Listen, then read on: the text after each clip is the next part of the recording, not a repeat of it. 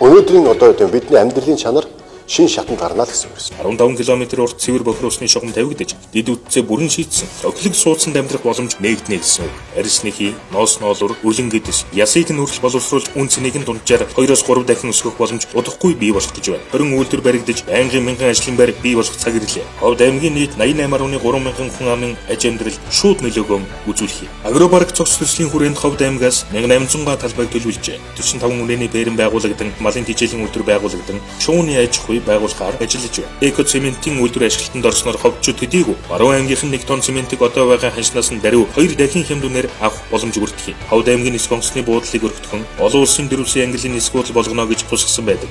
Монгол улсын баруун хязгаарыг айлж өөрчлөлийн төв эдийн засгийн нэг тулгуур болгоход Ховд аймагт баригдах олон улсын нисэх онгоцны буудал чухал ажил үйлдэлтэй юм. 2018 онд төслийн техник эдийн засгийн үндэслэлийг шинжилэн боловсруулж бүгдээрэн тэтардуулсан засгийн газрын хөнгөлөлтөд зээлээр хэрэгжүүлэхээр болсон. А тэгвэл Эрдэнэ хөнгө усан цахилгаан станцыг барьж байгуулад одоо хамгийн хямд эрчим хүчтэй ангуулж эрчим хүчээ зарж орлого олдог ангуулъя.